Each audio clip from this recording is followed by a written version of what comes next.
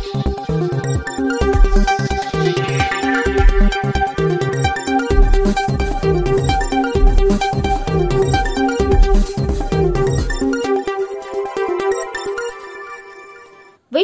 ಪರಿಸರ ದಿನಾಚರಣೆ, ವಿಶ್ವ ಪರಿಸರ ದಿನಾಚರಣೆ ಅಂಗವಾಗಿ ಬಿಆರ್ಸಿ ಜಮಖಂಡಿಯಲ್ಲಿ ಸಸಿಗಳನ್ನು ನೆಡುವುದರ ಮೂಲಕ ವಿಶ್ವ ಪರಿಸರ ದಿನಾಚರಣೆ ಕಾರ್ಯಕ್ರಮ ಆಚರಿಸಲಾಯಿತು. ಕ್ಷೇತ್ರ ಶಿಕ್ಷಣಾಧಿಕಾರಿಗಳಾದ ಎಕೆ ಬಸವಣ್ಣನವರ ಅವರು ಪರಿಸರದ ಮಹತ್ವವನ್ನು ಮತ್ತು ಪರಿಸರ ಸಂರಕ್ಷಣೆಯಿಂದ ಆಗುವ ಅನುಕೂಲಗಳ ಕುರಿತು ಮಾತನಾಡಿದ್ದು, ಹೀಗೆ ಪರಿಸರ ಇದ್ದರೆ ನಾವೆಲ್ಲರೂ ಬದುಕಲಿಕ್ಕೆ ಸಾಧ್ಯವಿದೆ. ಪರಿಸರ ಅಂದ್ರೆ ಮಳೆ, ನೀರು, ಗಾಳಿ, ಬೆಳಕು, ಮರ, ಸಸ್ಯ, ಎಲ್ಲ ಪ್ರಾಣಿ, ಸಂಕುಲ ಇವೆಲ್ಲವನ್ನ ಒಳಗೊಂಡಿದ್ದೇ ಪರಿಸರಕ್ಕೆ. ಅದನ್ನೇ ನಾವು ಪರಿಸರ ಅಂತೀವಿ. ಇವೆಲ್ಲವೂ ಉಳಿಸಲು ಮುಖ್ಯವಾಗಿ ಮಳೆ ಬೇಕು. ಮಳೆ ಬರಬೇಕು ಅಂದ್ರೆ ಗಿಡ ಮರಗಳು ಅಗತ್ಯವಾಗಿ ಇರಲೇಬೇಕಾಗುತ್ತದೆ. ಒಂದು ದೇಶದಲ್ಲಿ ಕನಿಷ್ಠ ಪ್ರಮಾಣದಲ್ಲಿ ಮೂವತ್ತರಿಂದ ಮೂವತ್ತೇಳರಷ್ಟು ಶೇಕಡ ಭೂಮಿಯಲ್ಲಿ ಗಿಡ ಮರಗಳು ಇರಬೇಕು ಅಂದ್ರೆ ಮಾತ್ರ ಸಸ್ಯ ಸಂಕುಲ ಬೆಳೆಯಲು ಸಾಧ್ಯವಿದೆ. ಸಸ್ಯ ಸಂಕುಲ ಇಲ್ಲದೆ ಇದ್ದರೆ ಮಾನವನ ಜೀವನ ಅತ್ಯಂತ ದುಸ್ತರ ಆಗುತ್ತದೆ ಮತ್ತು ಇದರ ಹಿನ್ನೆಲೆಯಲ್ಲಿ ಮಳೆ ಬೆಳೆ ಆಗದಿದ್ದರೆ ಪ್ರಾಣಿ ಪಕ್ಷಿಗಳು ಬದುಕುವುದಿಲ್ಲ. ಮಳೆ ಜಾಸ್ತಿ ಆಗ್ತಾ ಹೋದ ಮೇಲೆ ಮಳೆ ನೀರನ್ನ ಹಿಡಿದಿರುವ ಪ್ರಕ್ರಿಯೆ ಮರ ಗಿಡಗಳಿಂದಲೇ ಸಾಧ್ಯ ಎಂದು ಹೇಳಿದ ಶಿಕ್ಷಣಾಧಿಕಾರಿಗಳಾದ ಎಕೆ ಬಸವಣ್ಣನವರು, ಇದೇ ಸಂದರ್ಭದಲ್ಲಿ ಕ್ಷೇತ್ರ ಸಮನ್ವಯ ಅಧಿಕಾರಿಗಳಾದ ಶ್ರೀಯುತ ರಮೇಶ್ ಔಟಿ, ಕ್ಷೇತ್ರ ಸಂಪನ್ಮೂಲ ವ್ಯಕ್ತಿಗಳಾದ R R Gudigennavar Shivu Yadwad, Sadashiva Mudanur, SM Kayi, ST Paruti ಮತ್ತು ಕ್ಷೇತ್ರ ಸಂಪನ್ಮೂಲ ಕಚೇರಿ ಸಿಬ್ಬಂದಿ ವರ್ಗದವರು ಉಪಸ್ಥಿತರಿದ್ದರು.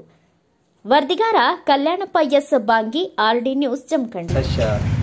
ಎಲ್ಲ ಪ್ರಾಣಿ ಸಂಕುಲಗಳು ಒಳಗೊಂಡಿರ್ತಕ್ಕಂಥದ್ದಕ್ಕೆ ಪರಿಸರ ಅಂತ ಹೇಳ್ತೀವಿ. ಇವೆಲ್ಲ ಉಳಿಬೇಕಾದ್ರೆ ಮುಖ್ಯವಾಗಿ ಮಳೆ ಬೇಕಾಗ್ತದೆ. ಮಳೆ ಬರಬೇಕು ಅಂತಂದರೆ ಗಿಡ ಮರಗಳು ಅಗತ್ಯವಾಗಿ ಇರಬೇಕಾಗ್ತದೆ.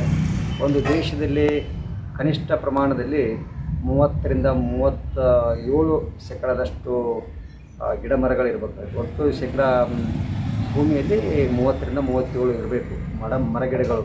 ಇದ್ದರೆ ಮಾತ್ರ ಸಸ್ಯ ಸಂಕುಲ ಬೆಳೀಲಿಕ್ಕೆ ಸಾಧ್ಯವಿದೆ.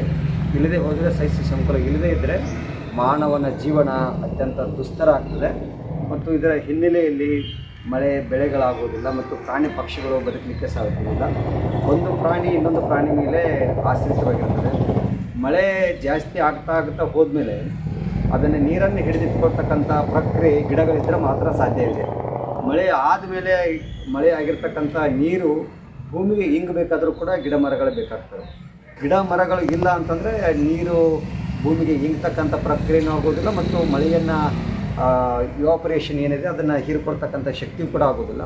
ಇದು ಇಕೋ ಸಿಸ್ಟಮಿನ ಇಂಬ್ಯಾಲೆನ್ಸ್ ಆಗಿ ಸಮುದ್ರದಲ್ಲಿ ಕೂಡ ಅದು ನೀರ ಉಕ್ತಕ್ಕಂತಹ ಪ್ರಕ್ರಿಯೆನೂ ಕೂಡ ಕಡಿಮೆ ಆಗ್ತದೆ. ಇದು ಒಂದಕ್ಕೊಂದು ಕೋಪ್ರೇಷನಿಂದ ನಡೀತಕ್ಕಂಥ ಕೆಲಸ. ಇದು ಆ ಇರಬೇಕಂತ ನಾವು ಗಿಡ ಮರಗಳನ್ನು ಕಡ್ಡಾಯವಾಗಿ ಎಲ್ಲರೂ ಕೂಡ ನಮ್ಮ ಶಾಲೆಗಳಲ್ಲಿ ಪ್ರತಿ ಮಗು ಕೂಡ ಗಿಡಗಳನ್ನು ನೆಡಬೇಕು. ಗಿಡಗಳು ನೆಟ್ಟಾಗ ಮಾತ್ರ ಈ ಸಸ್ಯ ಸಂಕುಲ ಅಂತಕ್ಕಂಥದ್ದು ಉಳಿಲಿಕ್ಕೆ ಸಾಧ್ಯವಿದೆ. ಇಲ್ಲದೆ ಹೋದರೆ ಸಸ್ಯ ಸಂಕುಲವನ್ನು ನೋಡಲಿಕ್ಕೆ ಸಾಧ್ಯವಿಲ್ಲ.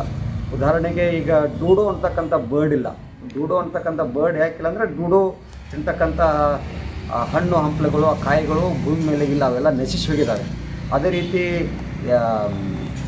ಎರಲಡ್ ಅಂತಕ್ಕಂಥ ಒಂದು ಬರ್ಡ್ಸು ಕೂಡ ನಮ್ಮ ಕರ್ನಾಟಕದಲ್ಲಿ, ಗುಜರಾತ್, ಮಹಾರಾಷ್ಟ್ರದಲ್ಲಿತ್ತು. ಈಗ ಮಹಾರಾಷ್ಟ್ರ, ಗುಜರಾತಲ್ಲಿ ಮಾತ್ರ ಉಳ್ಕೊಂಡಿದ್ದಾವೆ. ಕರ್ನಾಟಕದಲ್ಲಿ ಎಲ್ಲಿ ಇಲ್ಲ. ಅದು ಎರಲಡ್ ಮೊದಲು ಏನು ತಿಳ್ತಾ ಇತ್ತು? ಬಿಳಿ ಪುಷ್ಪಿಯನ್ನು ತಿಂತಾ ಇತ್ತು. ಈಗ ಎಲ್ಲಿ ನಾವು ಬಿಳಿ ಪುಷ್ಪಿಯನ್ನು ನೋಡೋದಿಲ್ಲ. ಎಲ್ಲ ಕಡೆ ಕಬ್ಬನ್ನು ನೋಡೋದ್ರಿಂದ ಅದು ಆಶ್ರಯಿತವಾಗಿರ್ತಕ್ಕಂತಹ ಪಕ್ಷಿ ಪ್ರಾಣಿಗಳು ತಾವೇ ನಶಿಸಿ ಹೋಗಿಬಿಡ್ತವೆ. ಹೀಗಾಗಿ ಮುಂಬಂದು ದಿನಗಳಲ್ಲಿಯೂ ಕೂಡ ಸಸ್ಯ ಮರಗಳನ್ನು ನಾವು ಯಾರೂ ಕೂಡ ಉಳಿಸ್ಕೊಳ್ಳದೆ ಹೋದರೆ ಮಾನವ ಸಂಕುಲನೂ ಕೂಡ ಉಳಿದು ತುಂಬ ಕಷ್ಟವಿದೆ. ಅದರಿಂದ ಬರಗಾಲ ಕೂಡ ಬರ್ತಕ್ಕಂಥ ಪರಿಸ್ಥಿತಿ ಇರ್ತದೆ. ಮತ್ತು ಅನಾವಶ್ಯಕವಾಗಿ ದುರ್ಘಟನೆಗಳು ಅಂದರೆ ಮಹಾಪುರಗಳು ಬರಲಿಕ್ಕೆ ಪ್ರಾರಂಭ ಆಗ್ತವೆ. ಇದೆಲ್ಲವನ್ನು ನಾವು ಬ್ಯಾಲೆನ್ಸ್ ಮಾಡಿಕೊಂಡು ಮನುಷ್ಯ ಜೀವಿ ಒಂದು ಎಲ್ಲ ಪ್ರಾಣಿ ಪಕ್ಷಿಗಳೊಂದಿಗೆ ಸೌಹಾರ್ದಿತವಾಗಿ ಜೀವನವನ್ನು ಸಾಗಿಸಬೇಕಾಗಿದ್ದರೆ ಪರಿಸರ ಬಹಳ ಪ್ರಮುಖವಾಗಿರ್ತಕ್ಕಂಥ ಅದನ್ನೆಲ್ಲವನ್ನು ಅರ್ಥಕೊಂಡು ನಾವೆಲ್ಲರೂ ಮನೆಗಳಲ್ಲಿ ಜಾಗ ಇದ್ದಲ್ಲಿ ಎಲ್ಲ ಗಿಡ ಮರಗಳನ್ನು ನಡೆಸೋದ್ರ ಮುಖಾಂತರ ಇದು ಪರಿಸರ ದಿನಾಚರಣೆ ಅರ್ಥಪೂರ್ಣವಾಗಿ ಆಚರಿಸೋಣ ಅಂತಕ್ಕಂಥ ಮಾತು.